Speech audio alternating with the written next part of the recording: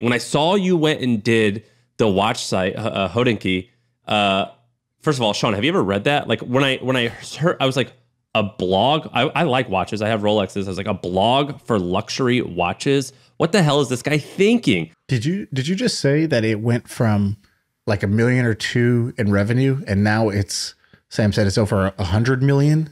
Yeah, yeah, we're over a 100 million in revenue now. Man, that is wild. That's insane.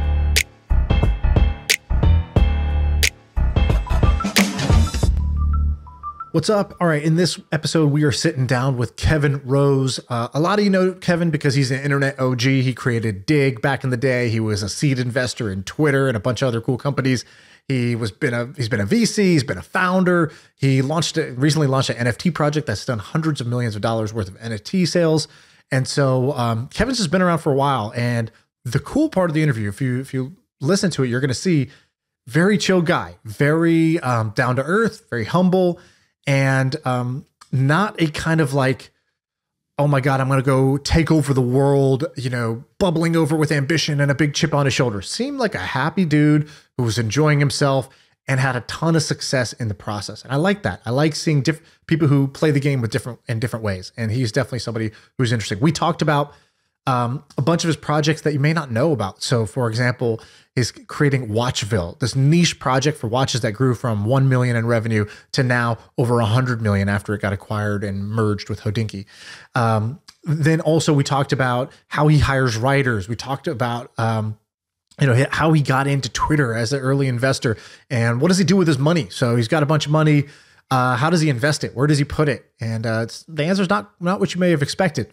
Um, the last thing we did at the end is we did the crypto debate. So Sam is sort of a uh, a crypto skeptic. Kevin is obviously a crypto believer and one of the kind of most well known guys in the crypto scene. And uh, we had a little debate where we talked about is it all bullshit or are there some use cases? So I uh, hope you enjoy this episode with Kevin Rose. I liked it. I think you will too. We should give like a brief overview overview, but like your resume we don't really talk too much about like resumes and stuff but your resume is like crazy long. So uh, i've been following you forever uh, so i've known about your work. So you started Digg, which was when did you start that in 04 2004 that's right. Yeah and so you were it was like one of the original like site like link aggregators and it was like a cultural phenomenon and that was crazy. And you were like was it time magazine that you were on the cover of like you uh, know business week Business Week. It was like, here's this young kid taking over Silicon Valley. What's the internet? And who's this kid controlling it? Type of thing. Uh, and like, it had all this hype, but like, Digg didn't turn out maybe as wonderful as like we we all thought maybe it could have done. But then you like had your finger on the pulse of all these other things you've done at Digg. You done is it? I read it all the time, but is it pronounced Hodinkee? Hodinkee? Yeah, Hodinkee. Yeah, Hodinkee uh, a watch blog that also like sells watches. You are a partner at Google Ventures. You have this app called Zero Fasting that I use. I love. Partner at True Ventures, which I still think you're at now. You've got the mm-hmm. uh, you got the um, the Oak uh, uh, meditation app, and then I have a feeling there's like five or ten other things that you just have brewing that like I don't even know. Like most people probably don't even know about. But you're basically my point is is like you're kind of an internet OG, and you are incredibly prolific. I mean, does that kind of summarize it? Yeah, I mean the the most recent thing I started was Proof, which is our our venture into the world of NFTs, and so that's that's the only thing uh, missing from from that, and that that's about um, ten months old now. So that's on the newer side. So from the outside, if I look at this kind of like collection of or like the career path, it looks very random. It's like mm. you know from uh, you know from venture backed to angel investing to venture investing to mm. kind of like a niche communities, uh, you know, these like kind of apps that are like simple, like uh, like meditation or fasting. Um, you did a podcast, you did a show, you know, you've done a bunch of content, you did, you did a bunch of different things. Was there a method to the madness? Is this do you just describe it as random, or is there kind of like some underlying theme to this whole thing? Yeah, there's. I would say that I've always been one, ever since I was a little kid, to just tinker and just to to play and if there's any method to the madness, it is this common thread of exploration and just wanting to, if I see something that doesn't exist that should exist, I want to go build it.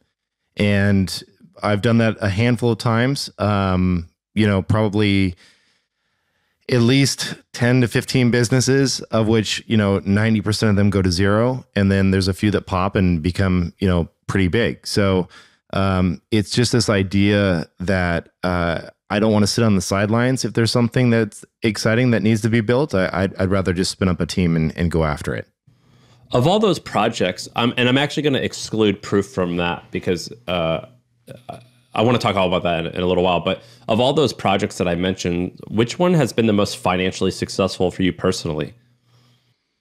Mm, that's a good question. Um, certainly, I would say when I was in the middle of Web 2.0, which was the the when Digg was at its its peak, which was um, about a 2000 early 2006. Um, you know, we were hit around 38 million people a month using the site. It was, you know, of the Web two properties, it was one of the largest.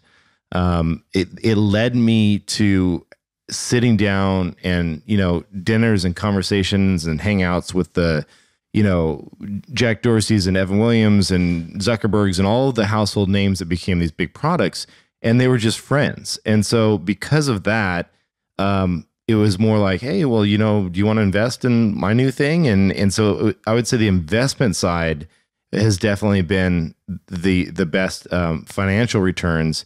I did start a media company um, that, uh, well, I would say there's there's two things that that well three that are two are unrealized in Hodinkee um, which is is is going to be crazy. It'll you know it's over 100 million revenue a year now, which is nuts. Whoa, really? Um, and then we have um, you know uh, the stuff I'm doing at Proof right now, which has just been, been another crazy rocket ship. But in terms of like true exits of businesses that I've started.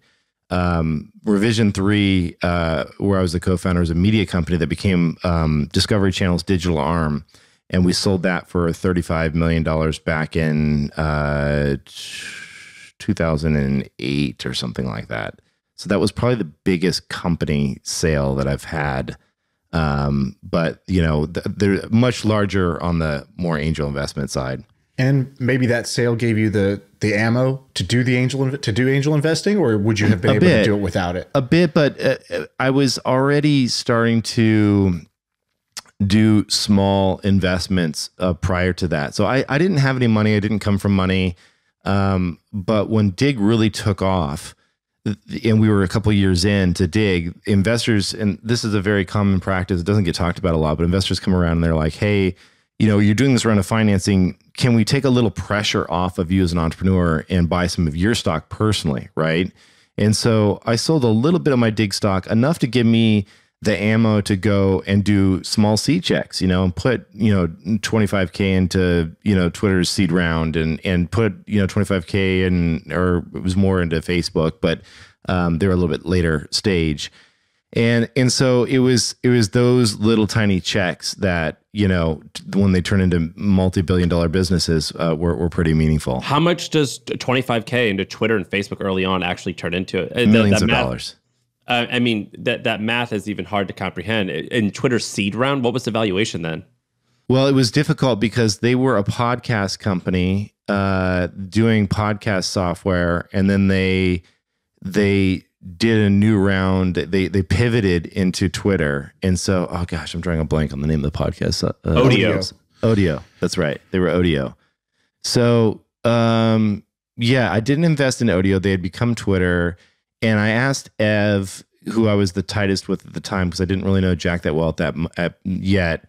And I asked Ev, he was CEO, and I was like, you know, can I can I invest? And it, there was no round available at that point. They, but he's like, I've got this engineer that, um, Blake that was leaving, and had some stock and was like, "Do you just want to buy some of the stock?" And I was like, "Yeah, that sounds, that sounds great. I'll just buy some I of the think, stock." I think Gary Vaynerchuk said the same story, and yeah, he bought it but he bought after too. me. Yeah. Oh, so really? yeah. So here's the funny thing. So I bought in from Blake, and then I, I told Gary that Blake was selling some, and um, then Twitter ended up actually they had a preemptive round come along that really like like five or ten x their valuation, and then Blake was like, "Oh, whoa, whoa, no, there's a new valuation now." and he charged Gary the new price.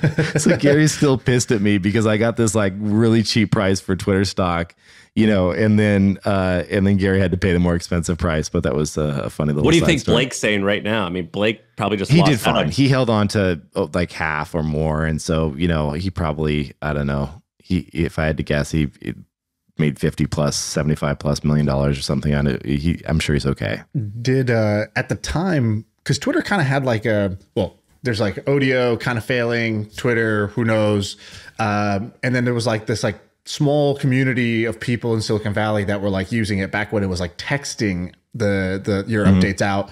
Um, like when you're when you were writing that check, did you feel like this is the you know the next big thing, or was this kind of like I don't know, my friends are smart, let's see, or where was it in that I felt spectrum? it like it was the next big thing because there was I, I loved so as someone that was building a social graph of sorts at, at Digg, you know, there was always this idea back prior to um, excuse me, prior to Twitter that was um, bi-directional friendships.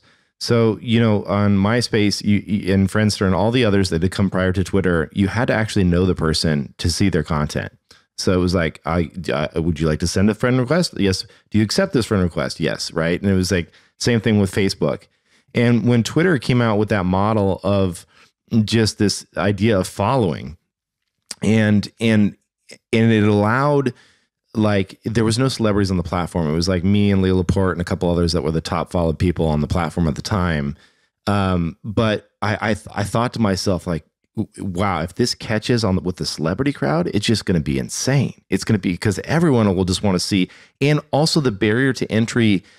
A lot of back then, it was it was um, it was impossible to get uh, you know celebrities to sit down and kind of um, do technical things because we didn't really have smartphones. But the fact that you could text to that number, that short code, just what you were up to, anybody can do that. It doesn't require any special software. It doesn't require you sitting in front of a computer, and so it was just so dead simple to use. It felt as though, as I saw the tech crowd, you know, um, kind of catching on uh, it, it, it, I knew eventually it would spill outside of that that small vertical of users into the mainstream. And if that when that would happen, that was the bet. And when that would happen, uh, if and when that would happen, that would it would it would blow up, and and it did. So that was that was awesome.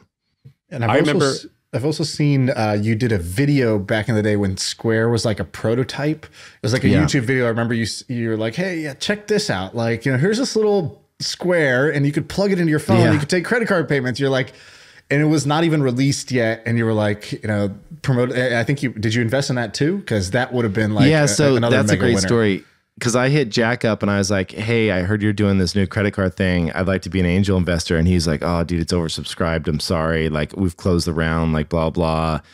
And I was like, "Damn it!" I'm like, "Well, let me see if I can help you in some way." And so he, he gave me a prototype, and um, I just went and recorded a video, and it got a lot of traction, and it got a lot of people excited about this new product, and it was like an early glimpse of what was to come and it started getting you know tens of thousands of views on on YouTube. And he calls me back and he's like, "I had an investor drop out. I've got some room. Do you want to do you want to put a check in?" And so that's what got me into um to, to their seed round, which was which was awesome. What was it like? Uh, you know, I lived in San Francisco from 2012 up until somewhat recently. Shaan's still there. It's definitely a bit different now because like startups are are quite popular and and Jack's and Jack Dorsey's like a, basically a celebrity. Mark Zuckerberg's obviously a celebrity. What was it when back then in uh, the the you know 04, 05, 06, uh, you know 2010 when these things were just getting going? Did you actually think that a guy like Jack Dorsey was going to be like this kind of like no. Titan of of industry like he kind of is like what was it like being around some of these folks early on when they were just you know you guys were just messing around Well, it was you met a lot of entrepreneurs back then, and there was it was clear there was a few people that stood out as just being um, wildly creative and and just deep thinkers. And I was really drawn to those folks. I wanted to just like pick their brain more and get to know them better. And so, you know, um, one of the things that struck me is just how mature Mark Zuckerberg was when he was younger. Like it was, you know, I'm I'm quite a bit older, excuse me, than he is, and um, how old is he now he's still only like 38 he's younger than that. oh my god yeah. So how old is Mark? That's oh yeah, you're right. He is 38. Yeah, I mean, that's still that's still. I mean, he's in his thirties. That's pretty wild. Yeah, it, it's it's it's crazy. Um, he was he was really young. Um, so yeah, so when I met him was 2005, I want to say. So he was 21. Wow. So he was 21 years old, and I remember just thinking about how put together he was and how well spoken and just what a deep thinker he was about the space. And he wasn't winging it; he was taking it very seriously, and um, that was that was a big big shock to me. Um, I remember just those conversations being like. I was like, wow, for 21, I was definitely not as put together as, as he was at 21. What, what's something he said that made you made you think that? Well, you know, one of the things that I was always uh, frightened by uh, as an entrepreneur uh, in my in my youth was just this idea of would people take me seriously, um, and could I admit when I didn't know something, and it, was it was it okay to?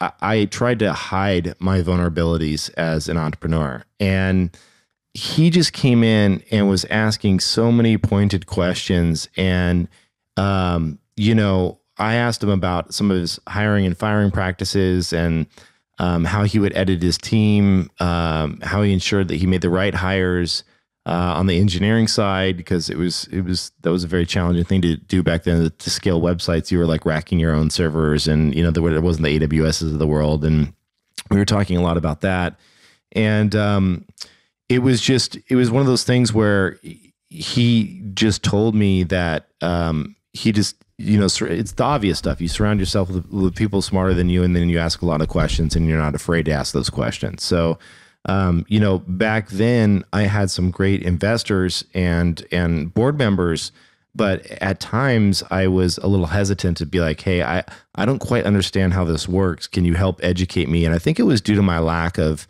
like, for some reason I thought because I was a college dropout that I, I I had to hide that and and they would be like if I asked a question that I should have learned in college that it would have looked uh, had it had egg on my face and so there was a lot of um of of nervousness around that and, and just to see Mark just be so open and just curious um and there was no it was clear that if he if he didn't know something he was going to get to the bottom of it right away um it was it was inspiring I had a I had an experience just like that when we were selling our, our last company.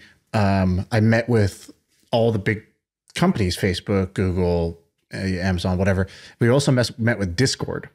And I go in, I meet Jason, who's the CEO of Discord, and I'm like pitching him on like, you know, basically, if you bought our thing, like it would add this dimension to Discord, it would be awesome. And I, what I was so used to was most founders if you if you're just kind of saying how awesome they are and how they can take over all these different how there's so much more they can do how this is just the beginning and how there's all these different ways that they can expand normally they're like yes yes yeah yeah totally. We can do that too. We can do that too. It all sounds good and he was just sort of like you know, I would acquire you guys because I like you and I like that you came in and you had this like whiteboard and you just like painted a picture for me.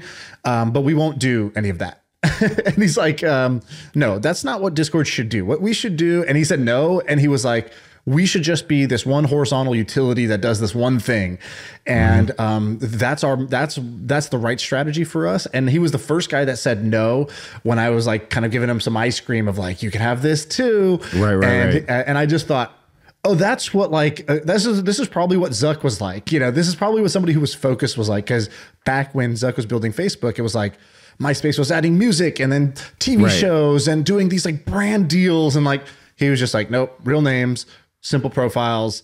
We're just gonna let you like you know communicate and add photos and do this stuff. And like he said no to a bunch of different things, which is why That's Facebook right. was some, such a cleaner site than MySpace and all the other competitors that were out there. Yeah, I would argue they've lost a lot of that because they say yes to a lot of the cloning of features of other other competitors. but yeah, you're right that relentless um, focus is is so essential, and oftentimes it's it's more what you say no to than what you say yes to on, on the product side. You know, I, I that totally agrees and vibes with me for sure.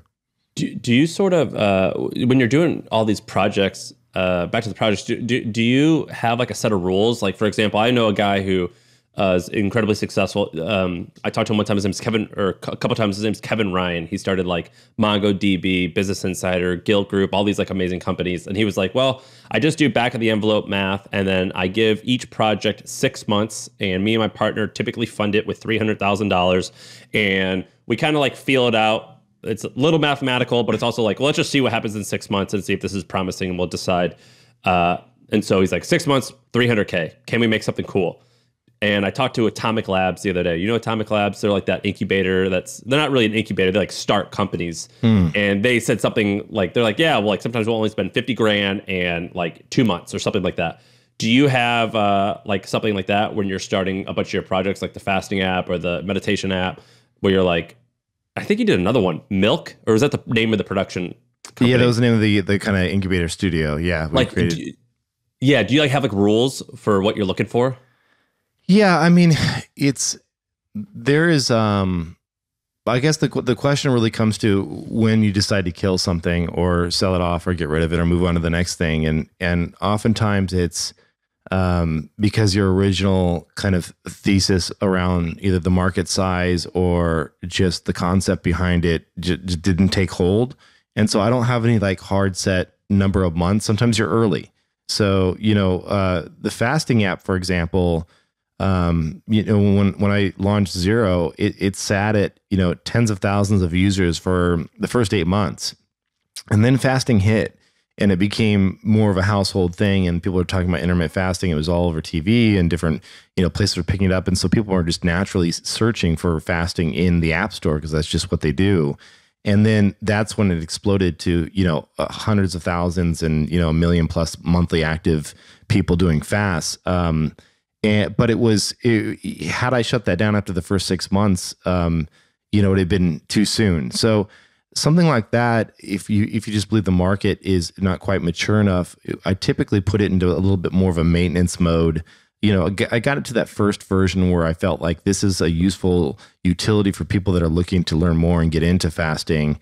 Um, now let's just uh, let it kind of organically build from here and we were seeing you know nice slow consistent kind of week over week month over month growth but nothing explosive like you you're used to seeing in a in a high growth startup so um that one that one in particular was just like let's just just wait around and then other times you know you create something and you've just clearly missed the mark it's it's like we created this app called tiny which was a, a fun little photo sharing app that was um Yeah, I used it. about- I liked it. Oh, you did? Awesome. Yeah, it was Yeah. these little little small Tiny photos. postage size, size uh, looping videos with no audio.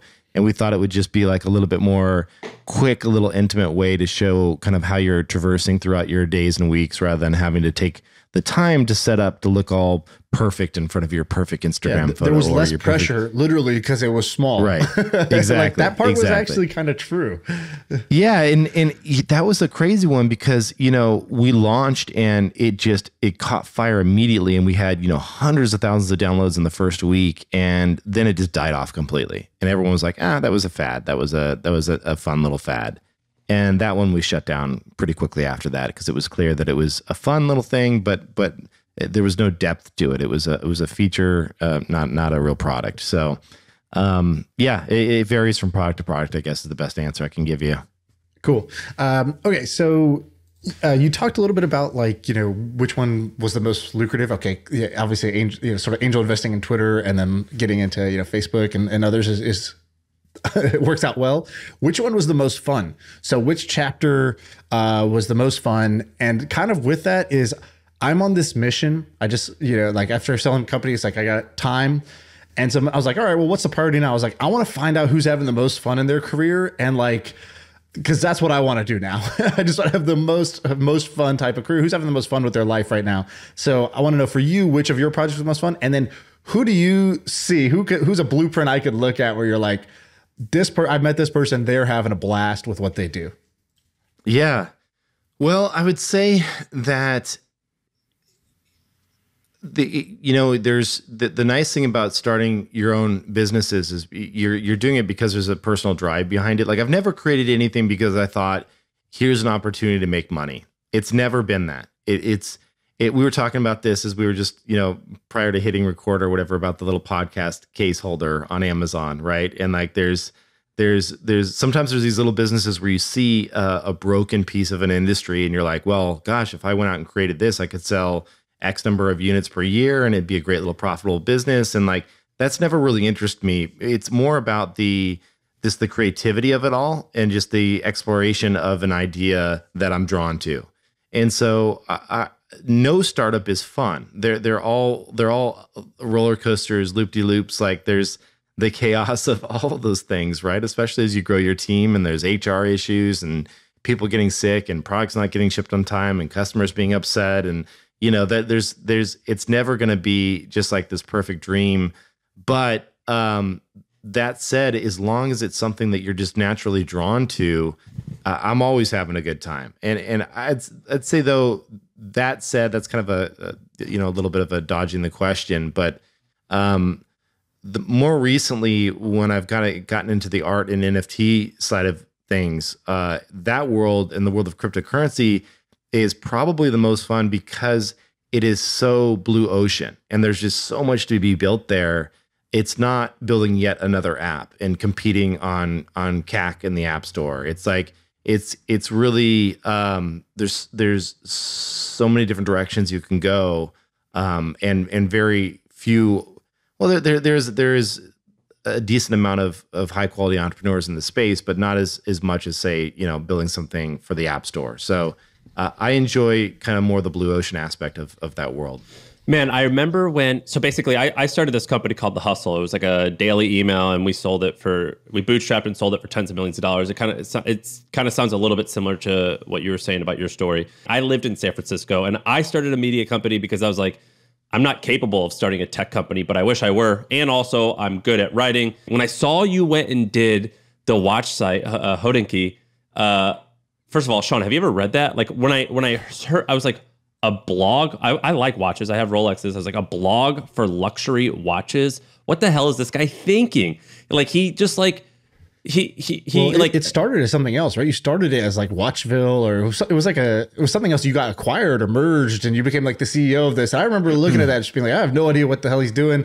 I don't wear watches, so I had no, I was completely out of touch with it, and it just seemed like a, you know a hobby project at the time. And then I started looking into it, and I was like, oh wow, there's like a huge passionate base around this, and this company makes a lot of money, uh, and has been around for a long it, time I don't think it did make a lot of money, did it? Like, I remember I read that and I was like, I like this business because I'm into it, but like, this guy's frankly way above this. What is he thinking? Like, this is, he's like, this yeah, seems I mean, needlessly hard. Well, Watchville was so, uh, again, like just kind of like personal passion stuff. So I was into watches mainly because when my father passed away, he left me with a single watch, and it's something that I, I wear every once in a while. And it was for him, it was like to afford a single Rolex in a in a middle class household is a big deal. Like that's like back in the 80s, uh, you know, when my dad bought that, he was just like I've made it. You know, I have it and I'm not talking about one of the crazy Rolexes. I'm talking about just a standard day date kind of like, you know, simple Rolex and like that was like the one thing he was really proud of, you know, that and his like GMC pickup truck, right? And so um, those th- that was something I was left with, and then I started reading uh, some of the content. So Ben Clymer created Hodinkee, the actual blog, and I created Watchville, which was an aggregator and an app that brought together all these different sources so that people can read this stuff on the mobile, uh, on their mobile phone. Because a, a lot of as, as silly as it sounds, back then most of the excuse me most of the watch sites didn't have um, mobile versions of their site so they were on just like old, old software, publishing software that what that was just horrible. So I, I, I made it all very readable, um, push notifications, like all the stuff, just a kind of a wrapper for like all of this great content. And it, it just started growing and growing and growing. And I had a lot of eyeballs. Like some of the the the biggest collectors were were now using the product. And um, you know, I, I Hodinkee was the most kind of best prominent um, source of this content that took it very seriously. So it was, um, you know, they had had a couple full time writers, and so I talked to Ben and said, "Hey, you don't have the tech team here. Let, let's let's merge and, and combine forces." So we um, we merged the two companies together. Um, he was three or four people, and I was three or four people. Um, I moved to New York, became CEO. At the time, he was doing uh, maybe a million and a half to two million dollars a year in revenue. Um, so just enough to kind of do payroll. And um, we grew it from there and then turned on e-commerce and then started selling uh, and, and creating partnerships with the big watch brands. And now, you know, as authorized dealers represent, you know, several dozen of the big watch brands that are out there. And that just became a massive, um, it was still a, a relatively unknown back then whether or not people would actually spend large sums of money over Apple Pay, right? And so um, I remember we had someone from Apple that was, um, you know, helping us on when you get to a certain size, they kind of give you a little bit more concierge help on the apps stuff. And they said that they had seen their uh, a two hundred fifty thousand um, transaction come through Apple Pay um, on an American Express, and that was like the largest known transaction at that No time shit. that had been done over Apple Pay for a sight unseen uh, vintage Rolex, which was uh, which was kind of crazy. But anyway, yeah. So that I mean, uh, new new new luxury watches are double digit billions of dollars in a, a year um, uh, in, in terms of market size. So it's it's a big industry that that many people. Uh, it's not as apparent in the states. Um, when you go overseas, uh, it, you'll see how in, in in Europe there you know watches are so much more uh, kind of a, a, a, type of thing that is is worn versus smartwatches are more of the norm or no no watch at all uh, here in the states. Did you did you just say that it went from like a million or two in revenue and now it's Sam said it's over a hundred million? Yeah, yeah, we're over 100 million in revenue now. Man, that is wild. That's insane. But- and, and a lot of it's commerce. I mean, you guys like when people talk about content and commerce, I think most of the time it's nonsense. Like BuzzFeed talks about it, and I'm like, I don't know, man. I don't think people are gonna be buying a lot of branded BuzzFeed pillows and shit like that. Or like they had that tasty thing. I was like, I don't think people are gonna buy a BuzzFeed oven. I just don't think that's gonna happen. And you guys did it, and I was like, I don't know. Is this like going to be a thing? It seems so challenging. But you guys are a perfect example of that. And you know the other good example? Do you- I bet you go to Bring a Trailer. Do you go to bringatrailer.com? I've been to Bring a Trailer many times. Yeah, uh, the founder awesome. of Hodinkee, it's one of his favorite sites actually. They are awesome. And so they've done the same thing, but with cars, where basically it's like this perfect tie of like, I just, I, I bought one car from actually uh, those websites. And, um, but I read it every single day. I'm like, let's just see like what they're going to write about, what cool cars out there. And then you guys did it with watches. And I loved your videos with John Mayer, where he talks about his watch collection and all that shit. Yeah, it's awesome. But what um what other verticals or what other like industries have you thought, man, maybe I could actually do this model? Uh, I've always thought software, but like that's not nearly as sexy and cool as watches and vintage cars. But has there any it's like when you were like thinking about this model, I I bet you're at, at night you're like I'm not gonna do it, but I bet you I could apply this here, here, and here. Yeah, I mean, in, some sense, that's kind of what we're doing right now in the world of NFTs, where there everyone that's armed with Photoshop can create a digital um, piece of art on the blockchain, and there's this mad rush into the world of NFTs, but there is just a ton of clutter, right, and and just a, a ton of, of of of projects to sort through. So what we created with proof was this this idea of you know it's the same thing with Hodinkee. It's the same playbook. It's this curation with a point of view, where you can have a strong editorial team come in um, that isn't talking about the flipping side of the industry, that isn't talking about how to make a quick buck in NFTs, um, that is really talking about what would you buy and hold for the next decade plus, right? And the playbook that that Hodinkee nailed so well was that we took editorials so seriously and really hired out just a, a- an absolute stellar team of writers that had a deep understanding of the world of watches and not just a announcement this is a new watch that was dropped but an understanding of the the mechanics of the internals of the watches. So they could tell you about the different movements and escapements and why certain complications were harder to pull off technically than others. And so it was a real geeks blog. And with that technical hardcore writing developed trust. And so you and once you have the trust of your readers um, then you're able to extend commerce in a meaningful way. And it's not asking them to buy you know um, a, a microwave or some like inexpensive or a throw pillow. It's it's it's saying we have your trust. This is uh what we believe to be a very important you know watch or collectible. And because of that um, you know you're willing to pull the trigger on a on a 20 30 50 thousand dollar purchase so um, trust is so essential Do you think that Well, I at the hustle we were trying to we hired a bunch of writers. Shaan hired some writers as well for his thing is a crypto thing, and I I've always debated this in my brain. I'm like, do I hire good writers and teach them about business, or do I hire smart business people and teach them how to write? What did you find was the best way to do that for uh, watches? Yeah, I mean, the best way to do that was to find people that had the natural, organic, built-in uh, love for uh, horology, like just this, this for for all things mechanical watches. So, you know, we would have writers that, um, if you t- take for example, like the Speedmaster, the, the the the watch that made it to the moon from Omega. Um, you know, they could tell you every single variant and movement change and the reasons why, and they were just super geeky on this stuff and they may have been just like B plus writers where you get them, but they had the technical knowledge in their brain. And that's a lot easier to fix because you get them to put that that technical information out uh, in draft form, and then you just pl- uh, apply an editorial layer over the top of it, where you have copy editors that come in and help you know stitch together a, a better, more more cohesive story before you actually publish it out to the world. Yeah, I love that. This data is wrong every freaking time. Have you heard of HubSpot? HubSpot is a CRM platform where everything is fully integrated. Whoa, I can see the client's whole history calls, support tickets, emails, and here's a task from three days ago I totally missed. HubSpot, grow better. You're a pretty chill guy. When do you get like really fired up? Like what what gets you excited?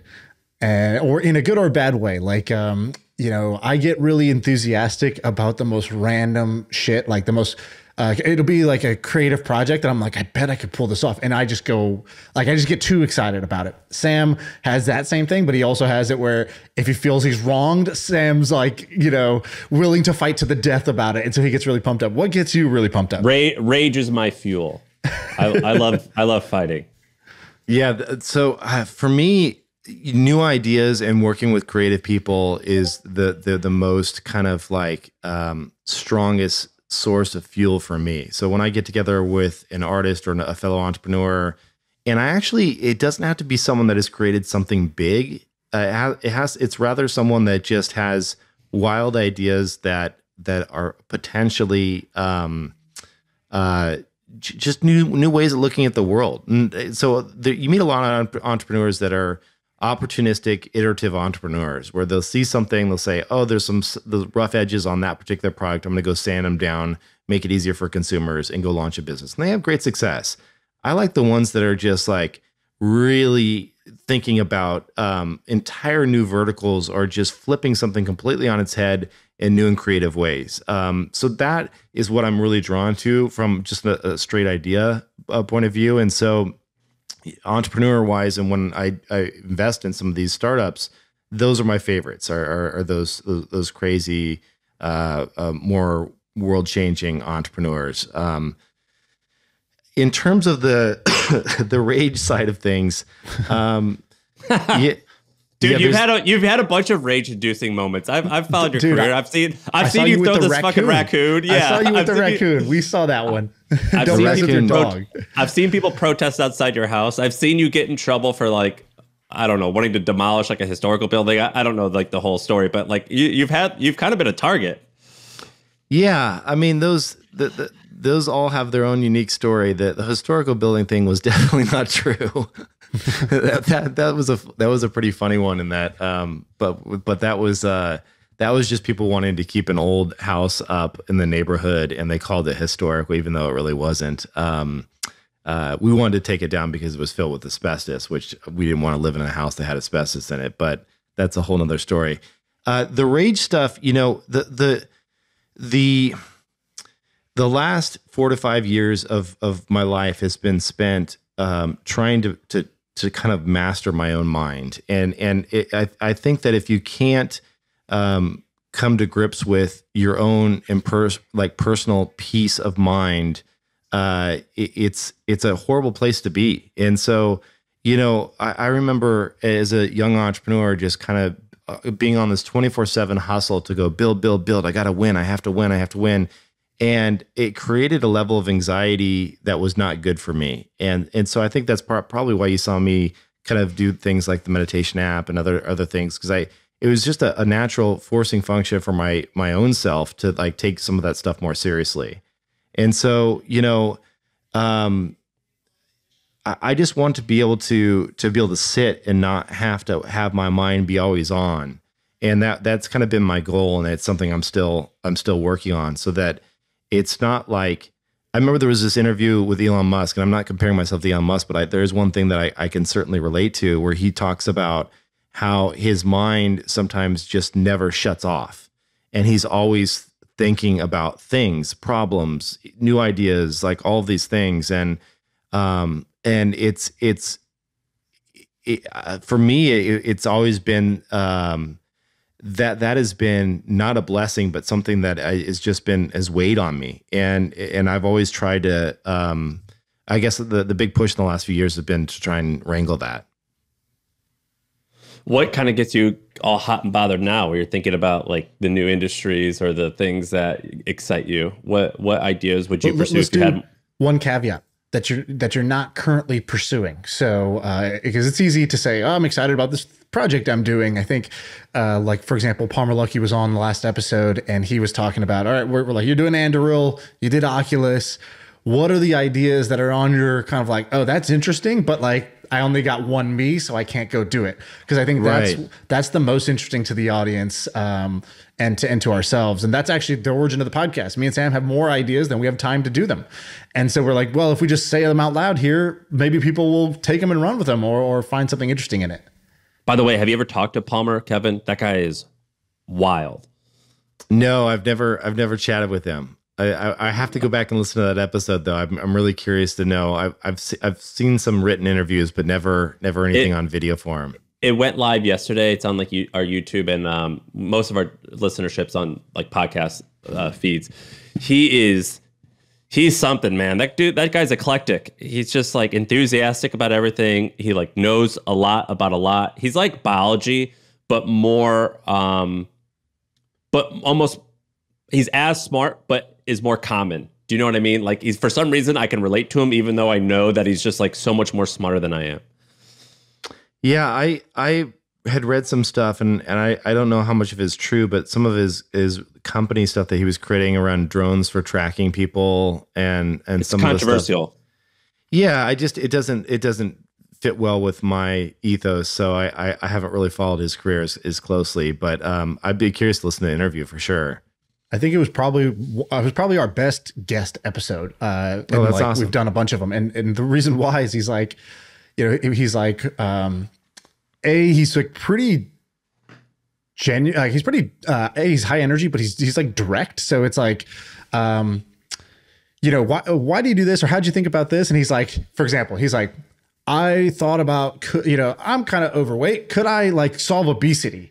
And he's like, you know, but here's what doesn't work telling me to eat less of foods that I don't like the taste of and blah, blah, blah. And so he's like, he's like, my solution was, and I started prototyping this in my house, was to just instead of Beyond Meat and stuff where they try to make like a burger out of chickpeas, he's like, I wanted to just make fake food out of oil, zero calorie food that tastes amazing because oil tastes amazing and we can manipulate oil into anything. We could turn oil into candles. We could turn it into waxes. We could turn it into this, into that.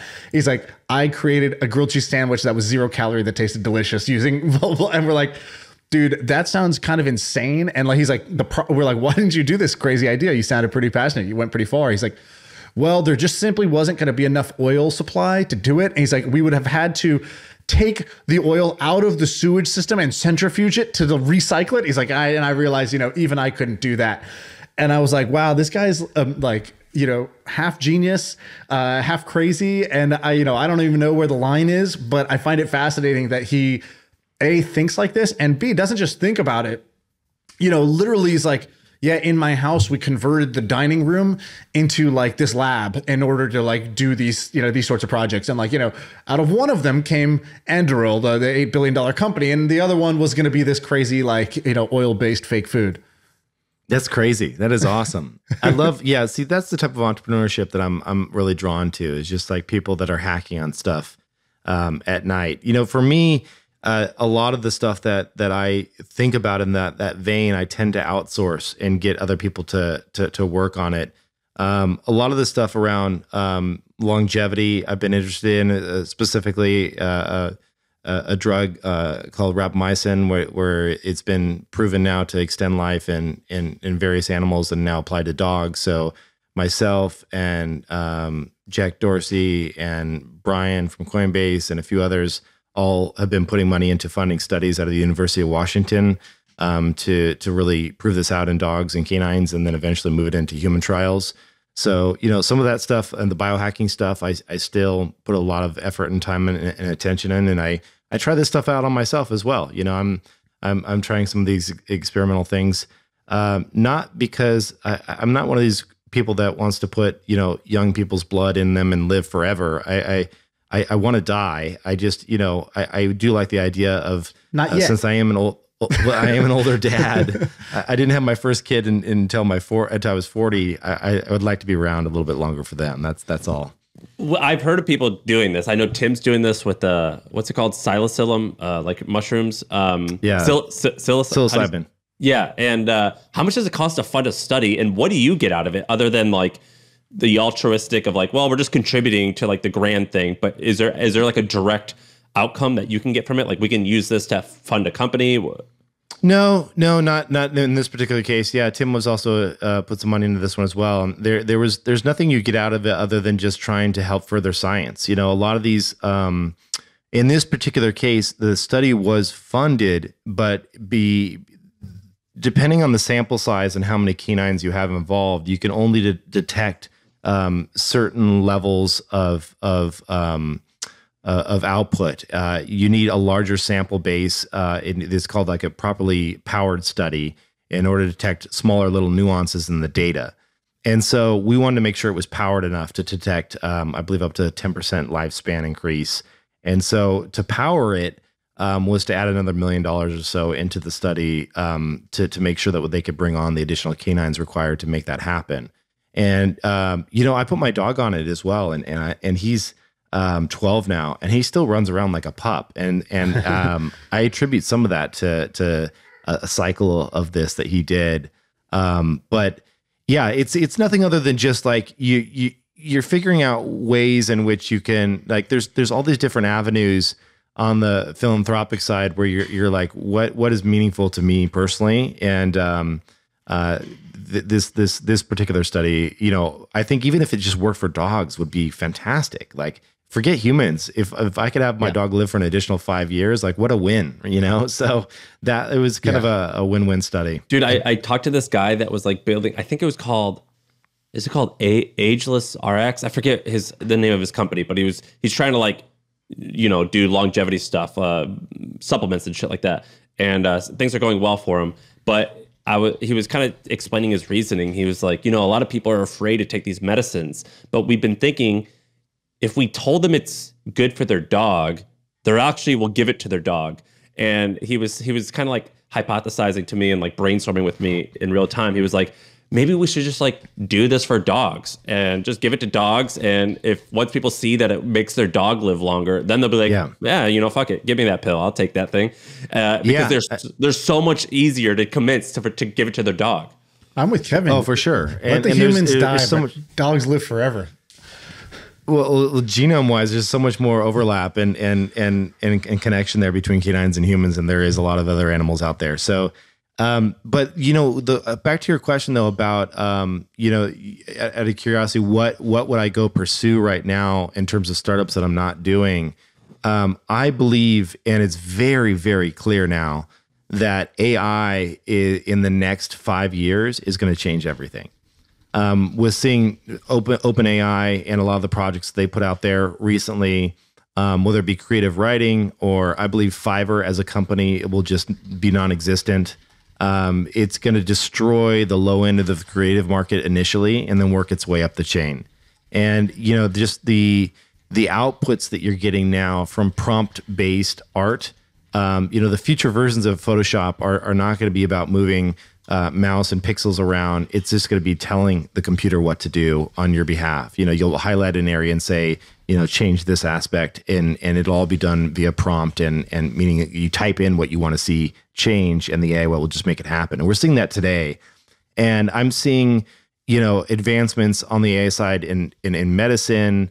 Uh, obviously, all the creative side. There's probably a half dozen or so tools now that will complete, uh, you know, write complete paragraphs for you if you're writing sci-fi. You give it some initial kind of prompts of where you want the story to go, and the writing is quite good. I have no doubt in the next five years we'll see a New York Times bestseller that was 90% written by AI. So it's it's I, I, there's just so much uh, interest, and with the interest and excitement flows the engineering talent. So I've seen a lot of um, friends that are these, you know, a lot of people I worked with at Google and and other places where you know they're they're very insanely amazing engineers you know previously working on distributed systems and some of these hard problems that they were trying to solve. And now said hey i'm i'm actually going to pivot into this this new world of ai and anytime you watch that kind of flow of high quality engineering talent go move into something you you you pay attention. So i'm looking for at a lot of investments in that particular sector um, and i'm i'm very bullish on it. And something i don't have time to work on but I, I believe some great businesses are going to be built there what would be an application you would want to do in that space? So all those kind of like threads where it's like creative work, yeah. medicine, um, you know, writing a, an AI book. Is there an application that you can think of that you're like, I feel like AI could solve this? Because I think that's the, that's the, it's a hammer in search of nails at this point. Uh, that's when well, I talk to Shaan. You made a joke. You made a joke. I, I, I always tease Shaan about Web three because I'm not the biggest fan of it, and he was and we were joking about how. Uh, he was like coming up with ideas with with AI. And he's like, finally, a use case, we found it. And like with AI, it seems like there's actually way more obvious use cases, right? But uh, yeah, what what application excites you? Oh, I'd love to have that Web three debate at some point too. But um, on on the AI side, you know, it, we're already seeing this, right? So so Figma was purchased by Adobe. You probably all saw that. It was crazy acquisition. Um, you know, probably the the the the, the standard these days for prototyping and and creating um, interfaces for everything from mobile apps to websites to, to you name it. Um, we're seeing uh, already built-in plugins to Figma uh, that allow you to prompt-based build uh, anything in in just a matter of seconds. So you can say, "Hey, give me an interface for a mobile app that has these five options uh, in this color with this futuristic type style," and you know you get something back in real time in in in, in 25 seconds and it's it's rough but it's giving my design team and other designers out there um, just a great starting point and it saves them a ton of time and effort. But this is like inning one. Like two three years from now it'll be doing 90% of the work versus you know the first right now was probably 20% of the work. So um, that is is is super exciting and the assistance and, and time to market for new ideas new projects i think is going to be compressed even further it's it's the same thing that we what happened with the kind of like late web 2 when we went from racking our own servers to fully deployed and, and, automated and managed you know aws instances that uh, and, and some of these databases that just auto scaled as you threw traffic at it it, it really compressed the time to the go to market time you know uh, by quite a bit. And i think we'll see the same thing on, on the uh, design side. So the speed at which we can develop uh, and deploy new ideas is just going to be, uh, you know, probably uh, an order order of, order of magnitude better than it is today. Um, so I'm excited for that. Where do you? Uh, a question that we started asking people, and it's actually uh, I've always learned so much from this, but what message boards or gr- Facebook groups or websites? Uh, what corners of the web are you lurking in right now? Like for me, I, I love Facebook groups. There's always like a weird Facebook group. Like a tiny example is overlanding. Do you guys know what overlanding is? It's like no. It's like um, I don't know the exact definition, but it's like you know how you see like Toyota 4Runners or F150s that have like campers on it, and it looks like they can go in mm-hmm. the desert for like two weeks. So I started like joining overlanding groups like three years ago because I was like, oh, this is kind of an interesting trend that's picking up. Or another one that we got really into a couple years ago was mobility. So like all these grown men not caring about yoga, but they called it mobility, and it was all about like stretching. And it's like, what's going on with? There's like all these weird Instagram guys like doing all this stretching shit. It's kind of intriguing, and like a lot it's of like, times it's like a, instead of ex, instead of therapy, executive coaching. Uh, you know, yeah, that, yeah, yeah. that's what happened from uh, from yoga to mobility.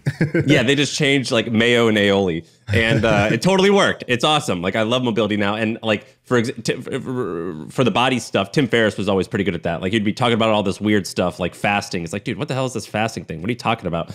Uh, and uh, that was like a really cool corner of the web to like look in on and like see like how are the geeks behaving now so i right. can learn like how the rest of the normal like average joe is going to care about in the next five or ten years yeah Where, there's that chris dixon quote are you familiar with it yeah what, what, what does he geeks, say it's just what the geeks who are playing with on the weekends will become like what we're all using like if several years later. It's something, some version of that. Yeah. So like, what geeky places are you hanging out right now? For for for Shaan and I, it's like a lot of Twitter people. So we'll find like specific people on Twitter who are yeah. like quirky, and we're like, what the hell is this guy talking? He's talking crazy. Yeah, I mean, it's really cool. Is, yeah, I mean, I, I follow a ton of people in, in crypto Twitter, so I, I pay attention to all the un, you know the what's happening on Web three via via um, Twitter, and then also you know, mostly Discord. It's just a lot of private Discords. It's a lot of private Telegrams, small groups and gatherings of peers that get together, discuss new ideas, new projects.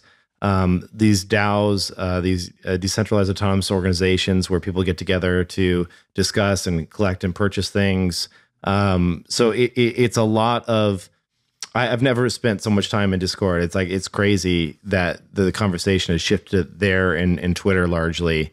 Um, Dude, I hate that by the way. I love the fact that like a Digg or a Reddit or something exists where you can just like if you googled it and found it, like you could participate. Now I'm like, "Oh, what the fuck, man? Kevin's probably got this crazy ass Telegram group that like there's I don't even I can't get in because I don't even know exists." No, you can join Proof. It's uh, fifty thousand yeah. dollars and you're in, bro. It's easy.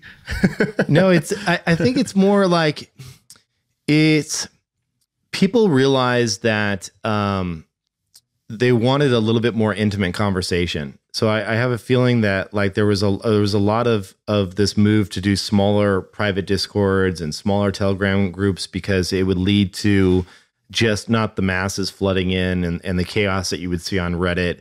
And so I, that's kind of been the move that that I've seen and and the the reason behind a, a lot of that. But um, it's not hard to get into that. You just have to actually show them that you you know what you're doing. Like you have to, you know, get in there and embrace Web three, which it sounds like Sam you may not be the biggest fan of, but you have to you have to get in there and and and and talk the talk and know where to go and people will tell you like this is the place to be hanging out or i'm enjoying this discord over here you'll learn about this and this is where the ai discords are or whatever it may be and um, that's just kind of the new it's the new facebook facebook's uh, it, it's it's it's I'm sure it's good for some things, but it's it's it's dead when it comes to Web three. You want me to tell you my why I'm not a fan of this? And you yes, can, you please. Can, I'm gonna get you. I'm gonna try and get you fired up here, and then yeah, we can talk about let's, let's try. We can talk about proof. I do. It sounds like I'm making an easy out, which I kind of am, but basically, like I am. I'm I'm I'm decently educated just by hanging out with Shaan, and so I have to admit that like some of my beliefs are a little bit loosely held, uh,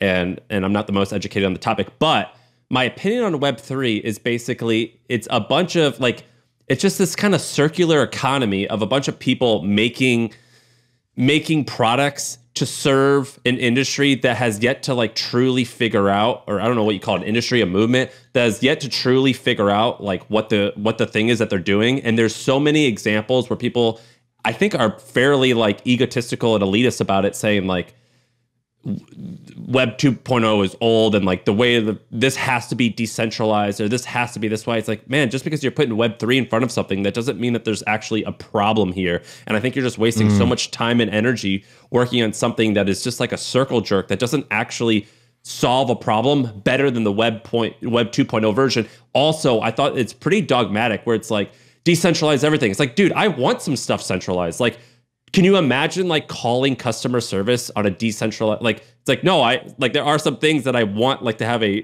to, to be centralized. And i thought that they were a little bit too dogmatic. And i thought that they were oftentimes i'm saying like they like you people uh like you guys like didn't always have wonderful solutions. You were just making shit up in order to like get in the game. And i just thought that it it kind of bothered me.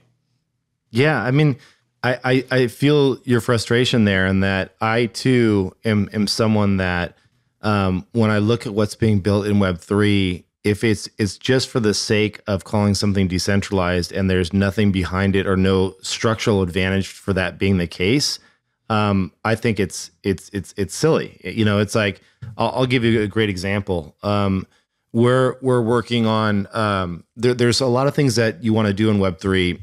some of them are high value and some of them are, are low value. When you were talking about working with the community, so we have a community of people that come together to do all, all different types of things, and some of it is what we call token gated content. So it's like a membership model where you have to be a member of something or hold a certain NFT in order to unlock certain access to videos or content or whatever it may be. Some of those things can be high value uh, items where you receive an NFT or something that is um, actually has some financial, like you know, something behind it. That is a case where you want to actually have that hardware wallet and pull it out and and do it in a way that is secure and that is protected. And um, but the rest of the time, you don't need that. You can use a Google login. It's okay to use a Web2 login. It's okay to use your email and password with two factor authentication. Like, we don't have to throw away a lot of the fantastic technology that's been built in Web2. There's other things, like, for example, some decentralized uh, maximalists. And I think maximalist is really what we're talking about here because anyone that is a maximalist uh, on uh, maximalist any, means what? You just like extreme and extremist. It just means that you are so into something that you can't see any other way. And it's like it's your way or there there's no possible. There are people out there that say there is no other cryptocurrency than Bitcoin. That's the only one. Isn't if Pomp, if, uh, Pomp's our, our, our buddy? Isn't Pomp like? Don't they call him Pomp, online Pomp's, like Pomp's a Bitcoin little, maxi? He, I don't think he. I think he is a maxi on Bitcoin, and and yeah. you know Dorsey's in that camp too, where he's like trying to extend Bitcoin and says that's that's kind of the only currency. And I, I think this applies to so many different things. Like I don't want to get into to political talk, but anytime you get to the fringes of anything sure. where it's like this is the only thing that matters, you get into crazy town, in my point of view.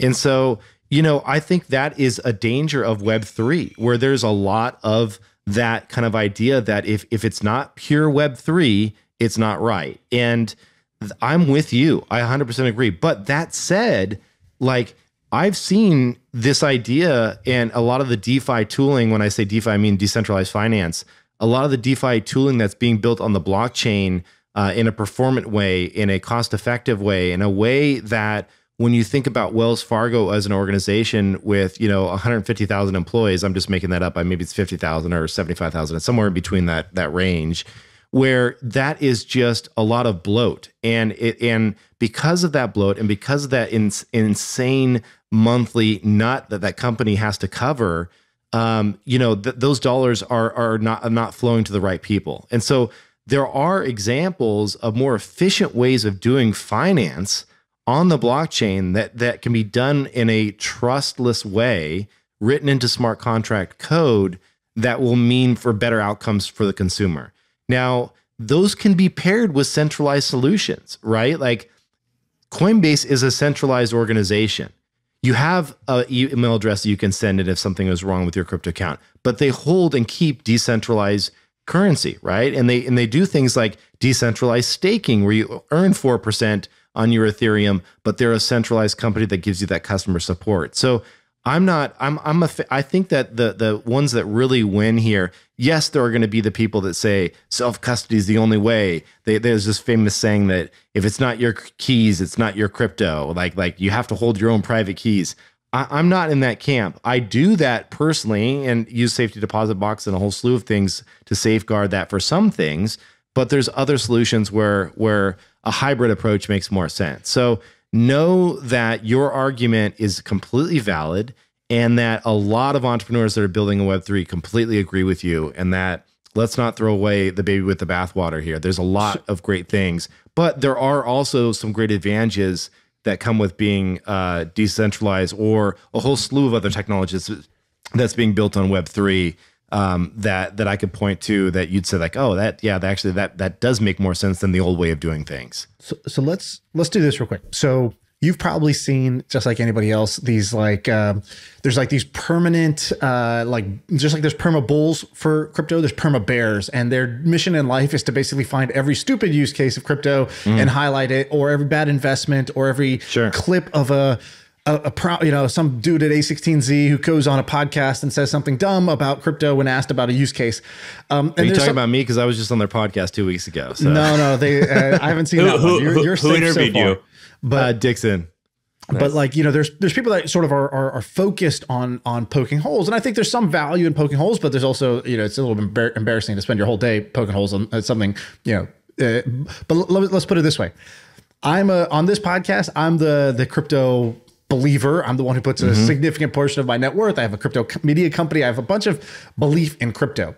But for this use ca- for this exercise here i'm going to uh, point out two things that I think uh, are, would be would be you know strong and valid points against crypto to somebody like you who is also a, a crypto believer. So I want you to kind of argue against these, and I hope that uh, this doesn't get clipped as like you know famous investor X fumbles the ball uh, when trying to explain you know crypto things. So let's try to do better than that. Yeah, let's do Um, it. Okay, so the first would be around uh, NFTs, right? So you're a big NFT guy, and there's NFT art, which I think pretty hard to argue against at this point. Like digital Mm-hmm. art, cool, their ability to own digital art. That's one use case for NFTs. Mm-hmm. But a lot of people who believe in NFTs will also say, but that's just the beginning. NFTs is a is a file format. It's a protocol. There's all these different use cases for NFTs. And um, I saw the founder of of OpenSea, I think, uh, talking about this yesterday on a, on a podcast where he's like, they're like, why? Uh, he, you know, he's like, oh, another use case is NFT tickets, and they're like, so why would there? Why would you want to have an NFT ticket? He's like, well, because then you it's you know you could plug it into DeFi and you could take a loan against your ticket, and then people were like, why the fuck would I want to take a loan against my sixty dollar like concert ticket? Like, is that Right. really what the hype is about? And it's sort of a silly use case. So I would like you to give me the non silly NFT use cases that you're excited about. So like Yeah. and uh, the Well, let's let's take the ticket example. stuff. Let- Let's take the ticket example, and, and the art one is easy. It's a new canvas. Let, let- actually, let's cover that first. The art one is easy. It's a new canvas. You can do things and pull from uh, real time data to display art in very unique, fun, creative ways. Right? Like It's, it's really not that much different than your than Rolexes. I mean, like, there's no reason why a Rolex is one hundred fifty thousand dollars, other than like a lot of people think it's cool. Yeah, well, I would say there's a difference there because something you may not know about Rolex is they make over a million Rolexes per year. And so Rolex it hides that number. And the reason they hide that number is because if they didn't have a sense of scarcity around it, and they, they do this specifically when you go in their stores, there'll always be, if, next time you walk by an actual true Rolex boutique, notice how there's like some missing spots. And, and when you go inside, and that's all play. It's play because they're like, oh, well, they're, they're sold out. They're not available. But we can put you on this list. And in, in three to four months, we might you might get a phone call. Guess what? You always get the phone call. and and the, the watch is coming because there's they're making a million a year. The nice thing about, you know, the, the one of the things that I was always so confused by is I was a comic comic book collector way back in the day. And I bought Wolverine number one because I love Wolverine. It was like my childhood. Like I always wanted to own one, right? And so I bought Wolverine number one and it always hovered around $50. And I was like, why is this not going up? It's the very first Wolverine launched in the 80s, right? It wasn't the first appearance of Wolverine, but it was the first Wolverine comic. And I finally got a hold of a really well known collector. And he goes, Oh, he goes, You don't know. They knew by that point that Wolverine was a hot character. And so they printed over 300,000 mm. copies of that first edition.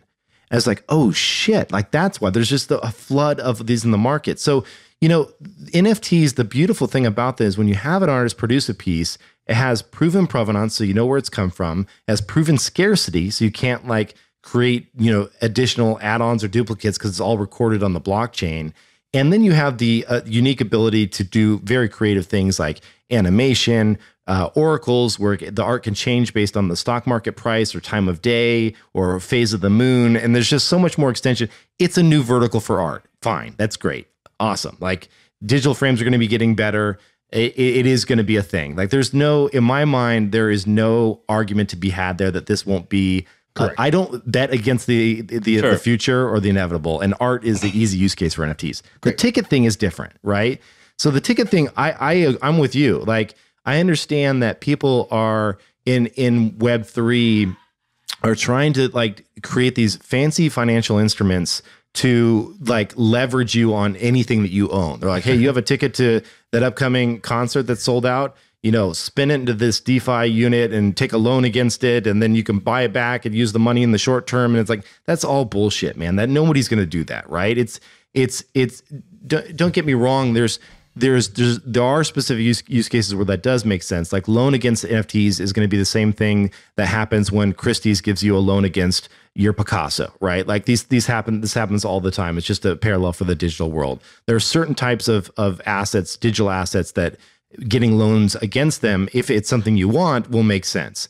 The tickets thing for me is very confusing. But what I will tell you is interesting, and I've talked to actual rock stars about this. Like I had Mike Shinoda from Linkin Park on my show, and he's a huge NFT fan, and he creates them. And um, you know, awesome, what, awesome flex. By the way, you you know, I've I've talked to some rock stars about this. I'm gonna. That, that's no, but like I know, I'm not making fun of you. I'm saying that's cool. I think it's cool. I, I think it's important because like you you, you want to get the artist to buy in on this totally. stuff too. Because no, if it's just it's geeks cool. that are saying it's cool, yeah. Yeah, he's a, he's an awesome guy. Very approachable, very approachable in, in the terms of rock star uh, guys. But no, Shinoda cool. will tell you that like well, what we talked about, which is an obvious one, is like okay, imagine the tickets. Well, let, let me step back. One thing I believe to be true 90 plus percent of people that interact with NFTs over the long term, I believe, won't even know it as they're doing it as an NFT. It'll just be something where they have a digital wallet, an app, or something like that, and they have a ticket there, right?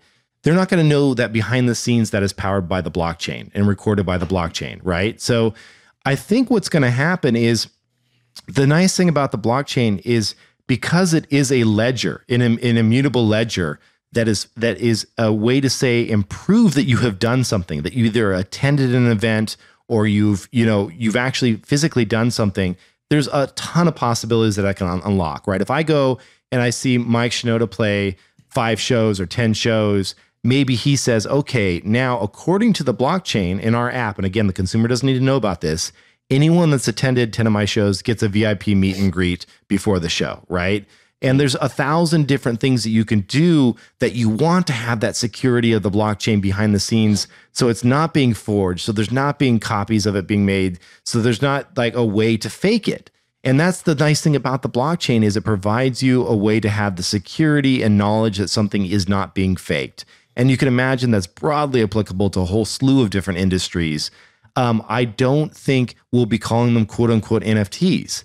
You know, it, it's just going to be a great piece of tech. It's just another database. That's all it is. It's, it's a distributed, um, immutable database that is decentralized. It's so, that's all this is, which unlocks so a bunch of fun new use cases. Let, us caveat it. All right. So let's say because I think I get when I get what you're saying, but I also get the uh, the eye rolls that people get when it's like, cool, tell me like how this is going to make my life better, and it's like, well, the cool thing about a blockchain is that it's provable scarce. It's like it's like, wait, you're telling me about the under the hood part. Whereas, for example, if my mom is like, if I'm like, mom, you should set up an email address. And she's like, what the heck is email? I don't need that. And it's like, well, no, check this out. Like, you know, you send letters or you, you know, you send letters to your sister who lives across the country. Like, watch this. If you do it this way, it's free and it'll be instant. And like, oh, wow, that's cool. And hey, you know, it's even better because it's all digital. You can just type the word and it'll find that file. You don't have to keep it organized somewhere mm-hmm. in a mm-hmm. folder in your house. Yeah. Uh, right. So I can I don't have to tell her how it works at all. I can literally just say it made your life better by being by giving you, you know, more time, more money, more whatever. And so I think the question is what does NFTs give? What what does what will an NFT give a person that makes their life better without yeah. explaining how how the tech works at all? Sure, I'll, I'll, give you I'll give you a great example of one that hasn't launched yet, but something that that I'm personally working on. So I, am working with um, a well-known, like very culty kind of wine producer out there, and um, you know, wine at the highest level, at the high end, it, it, it's a tricky, it's a tricky business because there's you know forgeries, there's fake labels, there's they're putting holograms on the side of them, they're putting um, uh, chips inside of the labels so that they can be scanned to, to prove that they're authentic, right? Um, that's one piece. So the the first question is, if I'm buying off the secondary market and not directly from the producer, am I getting something that's legit? Excuse me. the second piece of that is, once I receive that bottle, you know, how do I store it to ensure that if I'm going to keep something and I want this asset to appreciate over time, um, and I want to drink it a decade from now or two, then you know, how do I ensure that it is being stored the right way? So, one thing that is happening in the next four months will be the issuance of NFTs to people that is going to be from a major well known winery where it will represent one physical bottle of wine. There's a couple advantages here. One, you don't have to take possession of it right away. You can let it sit in its proven perfect storage conditions and age for decades to come. You can let it appreciate in that in those storage conditions and you can hold on to the proven ownership of it as an NFT. Let's say that bottle of wine for 4 or 5 X's over the next decade you don't ever have to then pull the wine in out of the cellar, take ownership of it, find a third party to sell it, and then resell it where that person is questioning the authenticity of that wine. Instead, you can just transfer that NFT to a buddy. You can gift it to them for a special occasion or an anniversary. And then when they decided, hey, I want to drink this, they press two buttons and that bottle of wine that has been stored perfectly for a decade shows up at their door. That is efficiency. That eliminates fraud there is just so much to love in that equation and that'll be applied to the watch industry to the luxury world to all these different verticals and it just makes sense like what about that i'm just curious if, as you hear me explain it doesn't sound like a better world like in, in terms of fixing a bunch of problems i think uh, if i was gonna if i was gonna argue against that like just to steel man the argument against sure. it i think it would be cool uh like maybe it's gonna maybe these are certificates for collectibles. Most you know it's not gonna that doesn't impact most people's lives because most people are not collecting high-end bags or wines or this where there's huge problems of forgery like that. Uh, that may be one thing which is it's not going to impact that many people um in, in that sense. Oh you're telling me nfts are this game-changing world-changing technology but that's a really niche specific you know one percenter type problem. And then the other is like you know um sounds like an NFT is like a digital certificate. Um, you know, you could have done that with a, with another type of certificate, but um, or another type of database. Maybe, and, and, but maybe this is better. Uh, like I do agree, it's better, but like it was possible before. It didn't take the impossible and make it possible. It made the uh, the possible made it maybe made it more efficient or a little bit more convenient for the consumer. And so I think that would be maybe one argument against it. But I don't want to go too far in the weeds. Yeah, I, I, the other thing that I think that to add on to that though is that because you have, well, I'll give you an example. Like back in in and you know the back to the rock star example of of a, an artist um, you're reliant upon if you did want to do some type of rewards program or something for well actually let me step up one more point. The point you made about the one percenter problem and is this applicable to those people? You're absolutely right. Like there's only a certain number of people that are going to collect art at the highest level and wine at the highest level and all of that. I mean granted these are double digit billions of dollars of year like big markets to go after but you're right. These specific use cases that i'm giving are are very niche right um, I think on the more broadly uh, on on the on the idea of just membership and access and prove where you've been, what you've done to lo- unlock loyalty and rewards over the long term, and think about you know replacing the Amex points or you know other point type systems or reward systems with blockchain. The beautiful thing about it being decentralized, and this is one argument for decentralization, is that it's forever on the chain and you're not dependent upon a company being around for that for that to exist. So if an artist is engaged with a startup that is working on a loyalty rewards program for them and they run out of capital and die 3 years later, as long as they stored their information on the blockchain, that artist can then just pick up where they left off and it just it continues forward. And we've already seen this happen where there's been several startups that have stored their information on the blockchain where they go out of business because they just their their idea didn't hit. And then someone fills the the void and comes and says i have a better take on this. And now let me tap into that public data and use it going forward so that not all is lost, which is kind of a, a new concept. And rather than a, just a database going away, it's always going to be there and can be reused, which I think like, is pretty pretty the, compelling. The, the, really simple two second example of this is you play a game, you, you you get really into Fortnite, you go buy a bunch of skins, you you dress up your character, you got the cool you know like glider, and you you bought all that stuff and, you know, a year and a half goes by. Your friends have moved on. They're all playing Call of Duty now. Um, you've sank $350 into Fortnite. You don't own those items. You can't resell those right. items. You can't recoup any of that value, um, nor could you take those items into any other game. So in a Web3 world, either another game could come out that says, hey, we accept item. We, we, we plugged into this protocol. So you can bring your cool sword from game one to game right. two. That makes the sword more valuable because now it can be used in multiple games. So maybe and I'm we're seeing this more. already. The interoperability between multiple Web3 platforms saying that this is a defined standard and now these items can digitally move between platforms. It So makes now- it makes a ton of sense. Now those items are more valuable because they can be used in more places. And the other one is that if I'm just done with the game, I could just dump it onto the next person who's really interested in Fortnite, and I can recoup my, some of my investment, which will make more people want to spend in games because it's not just a money pit; it's an asset that they could resell. All right, so that's like the the quicker example, maybe. I love that you joined my side. Inst- You were, I- you were I'm truly on your side, but I have to argue the other way uh, in order for this to be interesting. Let me, let me At give the end, second. at the end, you're like, I get it. I'm in. The, the other crypto nerd argument would be okay for years people have been saying that bitcoin is this this inflation hedge or this currency that that's that's um, that doesn't inflate and oh my god you know how lucky for you guys the us government starts printing trillions of dollars inflation is at record highs it's in the news every day wait what happened to that awesome inflation hedge asset? Mm-hmm. Why is it down 50% when inflation is is is the bigger problem than ever? Shouldn't this be shouldn't this be your time to shine bitcoin? So Yeah. what say you to that? Yeah, I mean it's it's a real shame that that Bitcoin has been so spiky because if it had it been this linear growth to twenty thousand to where it is today, we'd all be like, this is the most amazing thing ever. Like like if mm-hmm. you just take the spikes out and make it look linear, it, it's it still looks like an incredible asset. Like you know, just go back five years, look where it is now versus five years ago. So it, it's the spiky nature of it that that that hurts it in the end. I would say that. um you know, I, I'm a fan. I think Bitcoin is is a tough one because it's. I, I don't like that it's not a green currency, and I don't see a clear path to ever being the case.